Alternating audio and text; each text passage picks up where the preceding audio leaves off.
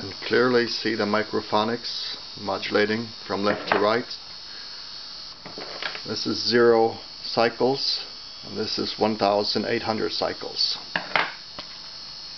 It's a windy day with rain outside and bushes and trees are moving and this is what's making the microphonics on a very low frequency. And here is the antenna. E-probe mounted outside on the plastic chair.